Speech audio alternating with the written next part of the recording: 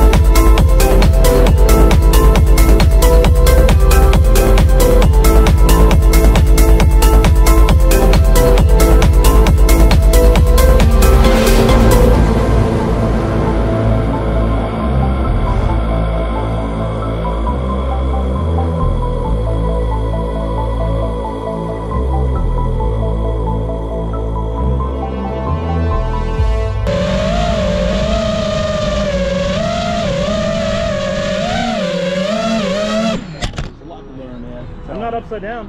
No, not this time.